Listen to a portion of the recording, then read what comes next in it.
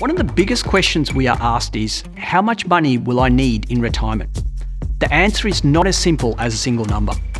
It depends on circumstances such as age, life expectancy, your financial resources inside and outside your super account, and most importantly, what kind of lifestyle you'd like to lead.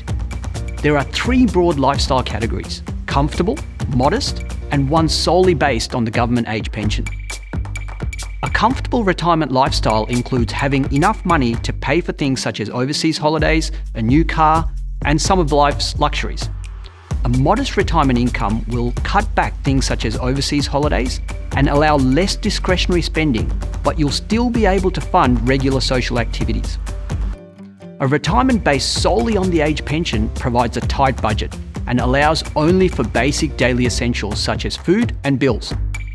Don't forget, even if you have money in a super account, you could still be eligible for some government benefits, depending on your circumstances.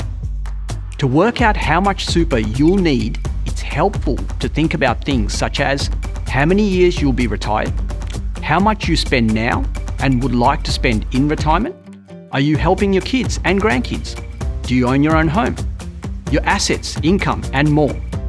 As all these questions are related to individual circumstances, you can see why there is no magic number. While this may seem complicated, financial planners like me are here to help you understand your wants and needs and to help you set the right strategies to get there. Book your appointment with an expert financial planner at hostplus.com.au today.